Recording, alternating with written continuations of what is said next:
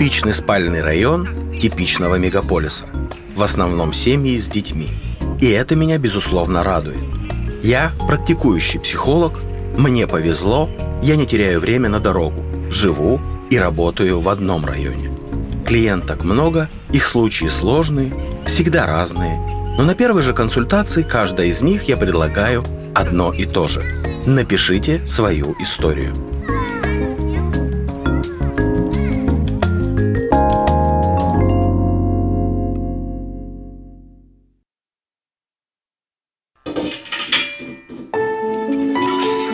Идея, между прочим. Мне вообще давно надо было начать писать. Я ведь когда-то мечтала работать в модном журнале или еще лучше на телевидении. Но так уж вышло, что основной моей работой на долгие годы стала семья. И я, между прочим, еще ни разу об этом не пожалела. Здравствуйте, меня зовут Ирина. Звоню вам с предложением банковской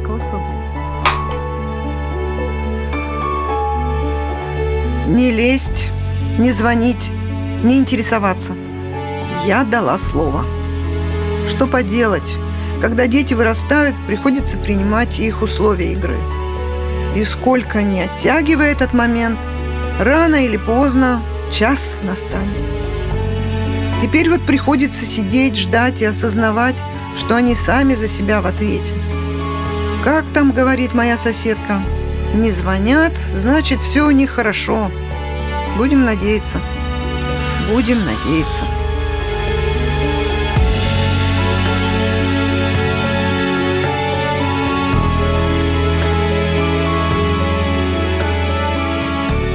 Такие минуты, когда градус волнения растет и кажется вот-вот достигнет пика, я обычно принимаюсь за уборку.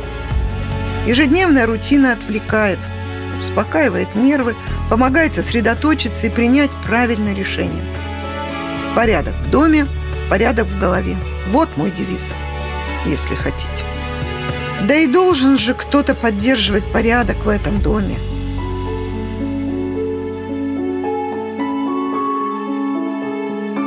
Глядя на детские фотографии, я понимала, как сильно по ним соскучилась. По сыну, по дочери, тем, кто на фото. Алло, алло, доча? Ну как там? Что, у тифика твоего руки до кладовки дошли? Ну и пусть слышит, ничего страшного. Что значит пока? Доча, алло, алло. Ну вот оно, не лезь, не звони, не интересуйся. Никто не желает меня понимать. Никто даже не представляет, что на самом деле чувствую я. Нет, есть, конечно, муж. Он, в отличие от меня, никому ничего не обещал. Но этот тюфяк помогать отказывается. А знаете почему? Потому что все мужики в моей семье тюфяки. И это моя беда все и всегда приходится делать самой. И вряд ли кто-то догадывается, что однажды, вернувшись домой, я хотела бы увидеть отремонтированную дверцу шкафа, вкрученную лампочку, ну или на худой конец вымытый пол. Галя! Тюфяк. Хм, тюфяки и королевы. Полагаю, тема дня сегодняшнего. С кого начнем? Предлагаю с тюфяков. К монаршей особе, да простит она нас, перейдем чуть позже. Потому что история про контролеров и их жертв частенько еще будет всплывать. А вот тюфяки – персонажи приинтереснейшие.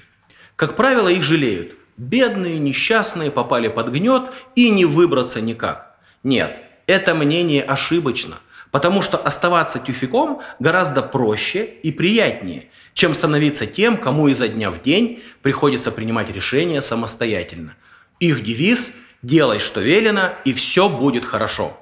Некоторые о таком могут только мечтать. Ну, а в нашей семье, как я понимаю, таких тюфяков трое.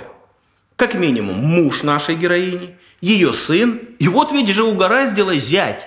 Ну, что, будем разбираться, кто там настоящий тюфяк, а у кого, собственно, взгляды на жизнь имеются. А чтобы уж не оставить без внимания ее величество мать семейства, скажу только одно. Без подданных не быть ей королевой. Она мать, она инструмент оплота и счастья этой семьи. Но вот ведь не задача. Одним и тем же инструментом, да хотя бы руками, можно как построить. Симпатично вышло, правда? Так, и разрушить. Ну а дальше, как говорится, без комментариев.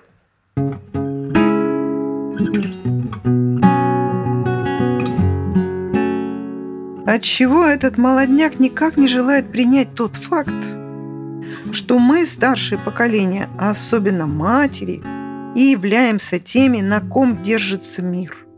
Счастливый брак, прекрасная дочь, сын, хороший сын.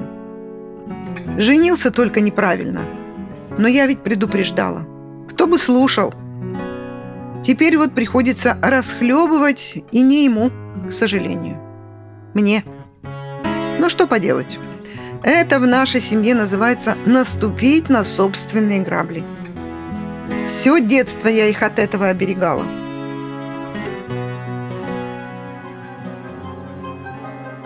Я чутко следила за тем, с кем дружат мои дети. Нет, я не запрещала водить в дом друзей. Напротив, поощряла любое общение на своей территории. А как иначе я бы узнала, о чем они говорят, о чем думают? Это сейчас проще. Залез в соцсети, на всех посмотрел, где надо прочитал, в родителях разочаровался. А тогда, знаете ли, чтобы правду узнать, каждому в глаза заглянуть надо было, с каждым лично поговорить. Я с тех пор людей насквозь вижу. А Сережа дома? Сережи дома нет. А когда он придет? Он не придет. Не ходи сюда, мальчик, больше.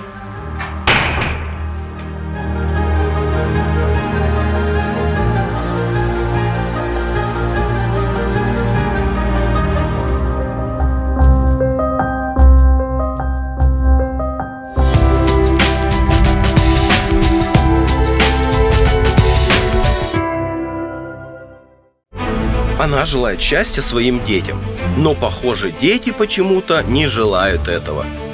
Или просто не хотят играть по ее правилам, не звонят, бросают трубки, женятся не на тех. Она чувствует, что спасти семью может только она. А на кого еще надеяться, если муж, по ее словам, настоящий тюфяк?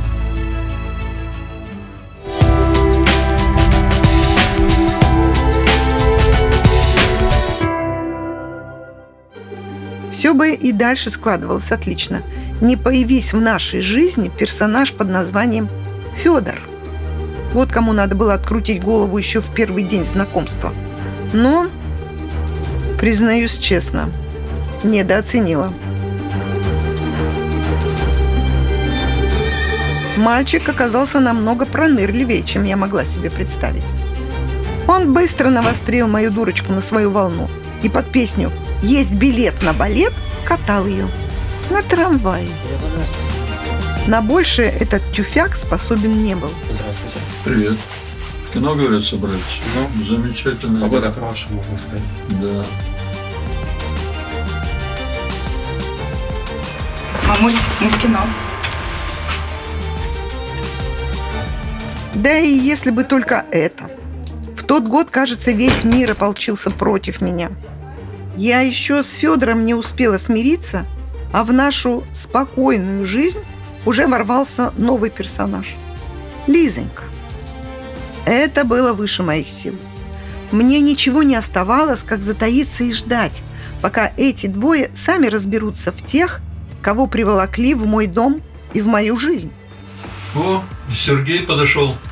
И только муж. Тюфяк всем был рад. И Лизоньке, и Федору. Ладно, чего с него возьмешь? С убогого. Ну, что я могу сказать? Прогресс. Еще немного, и муж Тюфяк, кажется, выскочит из-под контроля. Подумать только, он позволяет себе радоваться вопреки запретам королевы.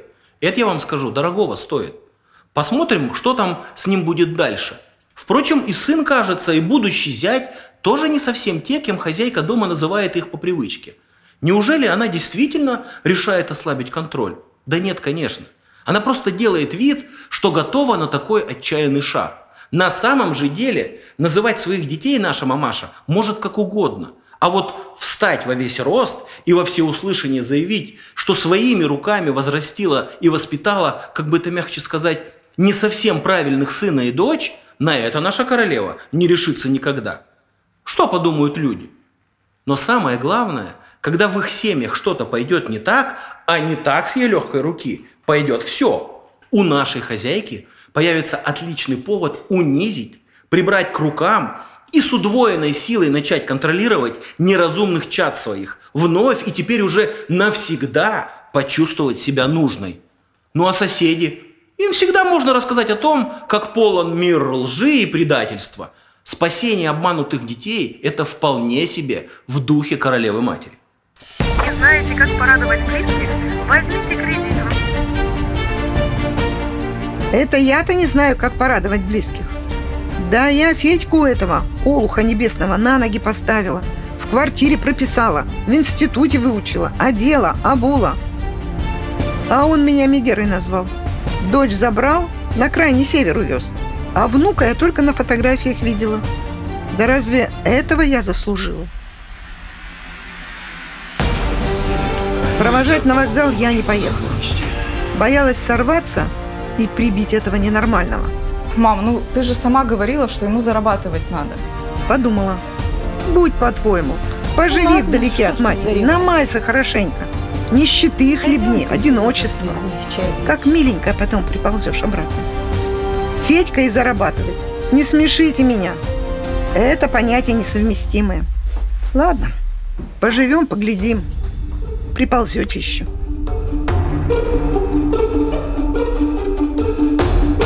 Если бы я только знала, что в этот день жизнь нанесет мне еще один сокрушительный удар. Лизонька наша после многих потраченных впустую лет так и нашла себя. Она уже пробовала шить, вязать, вышивать. И вот теперь красота наша решила заняться рисованием. И не просто так для себя, а по-настоящему.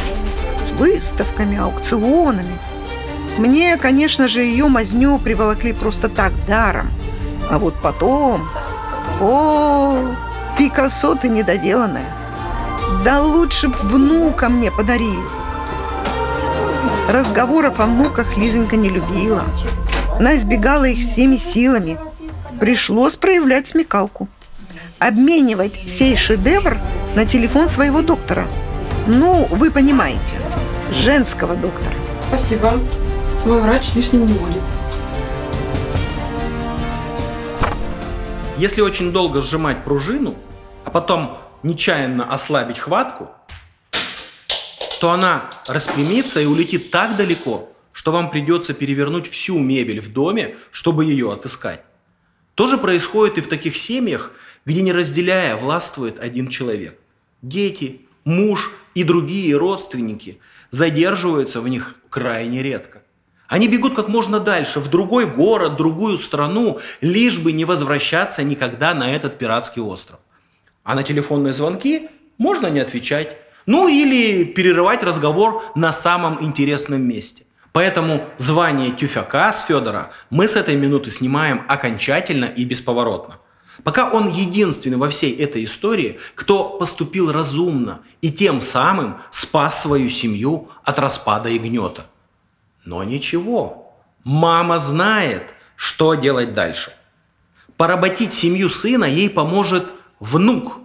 И вот Лизе уже вручается телефон женского доктора.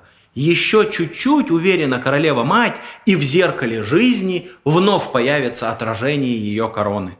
Ну, посмотрим, что будет дальше.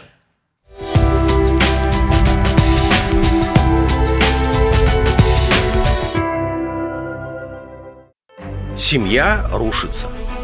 Дочь мало того, что выбрала себе жениха, который не нравится матери, так еще согласилась уехать с ним на крайний север. Внук растет вдали, видела его только на фотографиях. А сын вообще женился на барышне, которая думает не о детях, а о собственных увлечениях. Почему так произошло? Может, не уберегла или где ошиблась? Но ведь она же все делает ради них. Вопрос только один.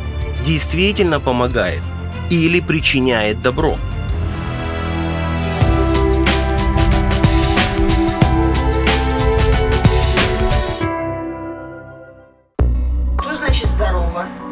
День, когда я узнала правду, стал роковым. Мой доктор сообщила мне, что Лизонька здорова и может иметь детей, но не хочет. Они с мужем решили пожить для себя. Как же, решили они. Да я никогда в это не поверю. Я что, не видела, как сын мой с соседскими детьми возится?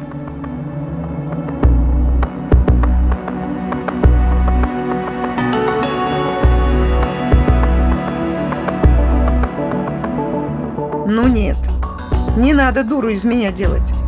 Это ты решила пожить для себя, а мы на это не подписывались. А сын страдал. После сложного перелома он работал дома. По квартире передвигался с трудом. Ему нужна была помощь. А кто поможет лучше матери? Правильно, никто. И я помогала, как могла. Пришлось плюнуть и на мужа, и на собственный дом, потому что мыть их квартиру оказалось тем еще подвигом.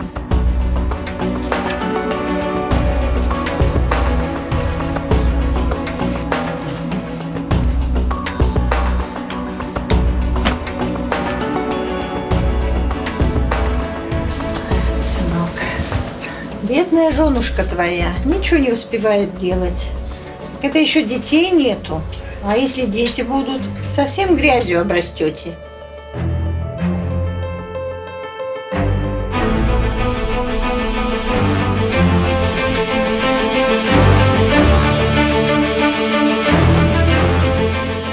Меня, признаю, сбесил тот факт, что Лизонька ни разу не позвонила.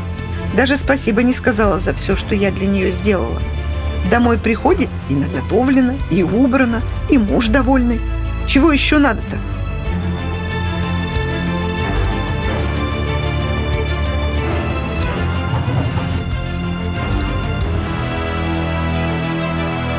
И так бы, наверное, благодарности не дождалась, если бы не случайная наша встреча. По всему было видно, сегодня в их квартире затевается непростой вечер. Ну, правильно, чего не отдыхать-то, когда мать все сделала. Да, Лизок, там тесто подошло. Мужу настряпаешь пирожков с картошкой, он любит с картошкой. Да, и там я картошку рассыпала, ты ее соберешь, а то она пропадет, померзнет.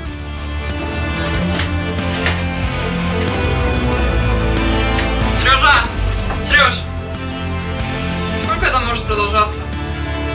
Я ее в гости не звала, почему она в нашу семью лезет? На кухню. Когда это закончится? Не нужно меня учить, что мне делать в моем доме. Через месяц они развелись. Ну что, семья распалась? Можно аплодировать. Я не сомневаюсь, что для этой женщины развод сына – это достижение, ее достижение. Но за этим своим триумфом она не в состоянии разглядеть фиаско, которое в итоге потерпел сын. Казалось бы, мальчик выполнил все требования матери. Дружил с кем приказывали, учился, где обязан был учиться, развелся, когда хозяйка решила. Он словно мячик антистресс, который выполняет все ее требования. Надавила, получила свое, успокоилась. Снова надавила и снова получила. И так по кругу, из года в год одно и то же. Но вот случилось страшное. Оказывается, если долго сжимать эту игрушку, она не выдерживает и в один прекрасный момент рвется, и не остается ничего. Пустой шарик, жалкий обрывок радости, из которого ничего уже не выжить.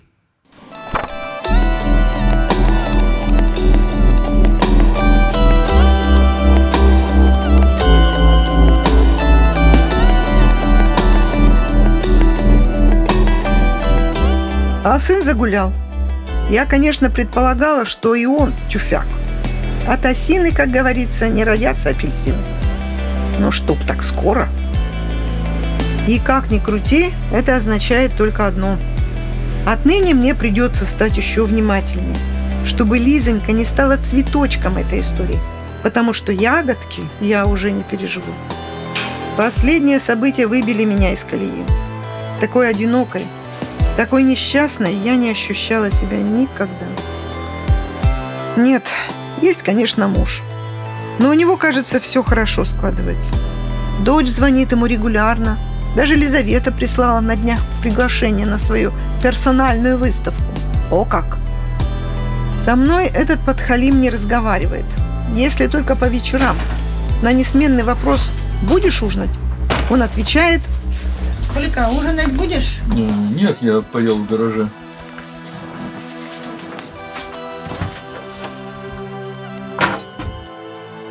Ну, а моя жизнь превратилась в одно сплошное ожидание.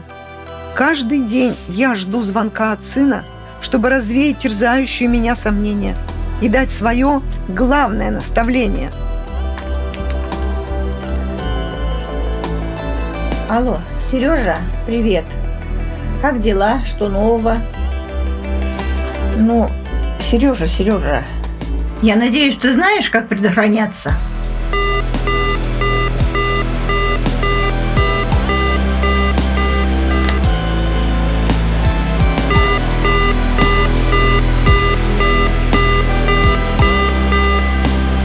Ну, все понятно.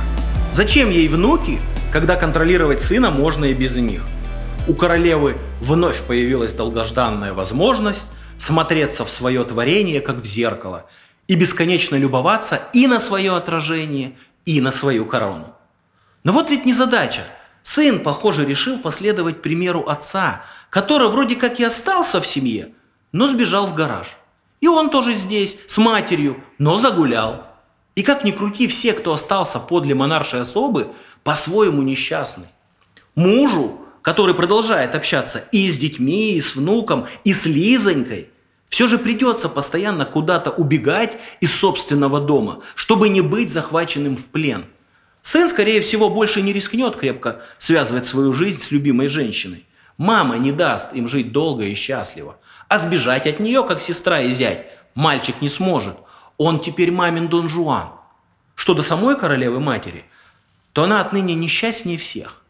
Потому что заполнить пустоту в ее душе, организованную ей же самой, не может никто.